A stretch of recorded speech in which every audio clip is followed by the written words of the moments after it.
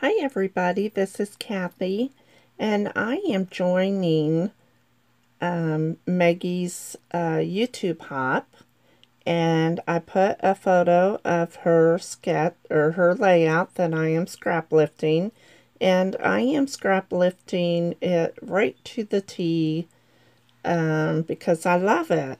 And I even dug through my stash and got this wood grain paper now the photos, I love how her top photo is slightly bigger than the bottom one, but um, mine is kind of going to be the same size, but that's fine. It's supposed to be different, and I, um, anyway, I pulled some red paper in just to give it that little tint of red that he has in his pajamas. This is my grandson Lane and he's taking a nap when he is three years old and he's at my house. So i I've been wanting to scrap these and I thought they would look really good in a grid style. So I feel really honored that Meggy is asking all of us to join her YouTube hop. And I hope all of you join in and leave everybody a comment and like their videos. And there's going to be loads of inspiration out there. So, um, I am mounting my photos and I'm leaving just a tiny bit of red in between the photos and the paper and then just a tiny little red outline border around. And I think, yes, I, I, um, I need to cut just a tiny bit more off of that. And I really like how that looks and I used a Project Life card and I just trimmed it so that it is the same as my top photo. And I think I decide to cover up what it says. And and yes up in her um, scrapbook page she has like a label sticker and a little banner. And so I just kind of cluster them. Um, I got them off of this sticker sheet and I kind of just stuck them together.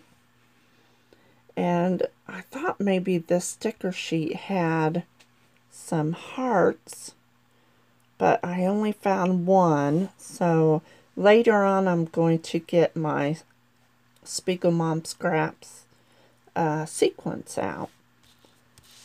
And, okay, and here is where I put the word sweet. Because children are always so sweet when they're sleeping.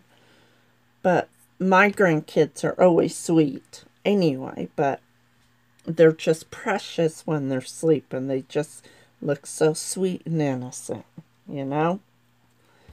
So here I'm trying to figure out where to put this flower and below this card she has some like a tag and a label sticker and I'm just going through that sticker sheet and trying to figure out what I can put there.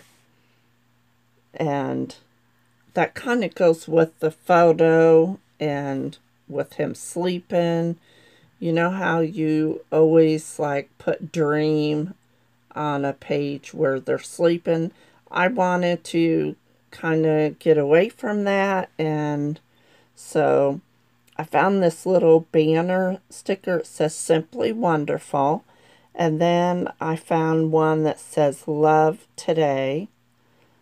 So, oh, and I just realized I have two sticker sheets and I think I will change this but up in the top right with the banner sticker, I use Love Today up there, and then I also put it down below.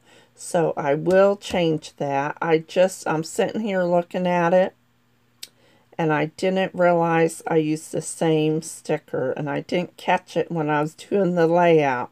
So I will change that. And so um, on the flower, I I wanted to cover up that corner of the Project Life card. So I decided to put a 3 there because he's 3 years old. So that kind of ties in that little cluster down on the bottom left. And then um, I found a little cloud and I put that up with the heart. And then I'm going to go through my that sticker sheet again to see what I could put on that block up in the top right. And I get out these banners and what I do is I end up cutting off one of the blue ones. And then it kind of fills that in and just kind of gives it more color. And then I'm like putting on the end of the banner strips. So then I think that was it. And then I decide I needed some, um, not enamel dots, but my sequins. So I get those out. And, and it just kind of pulled everything together. I don't know what I did without these. I I think I just bought these like two months ago.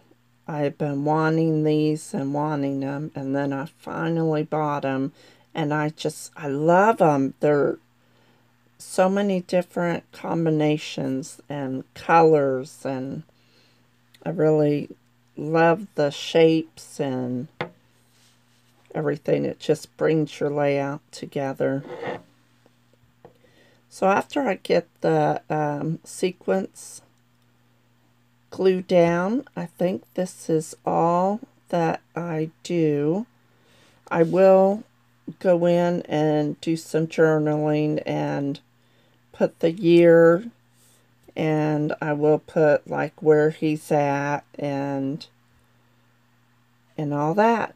But I want to thank you all for stopping by my channel and don't forget to give love to everybody else and y'all have a wonderful day and talk to you later. Bye bye.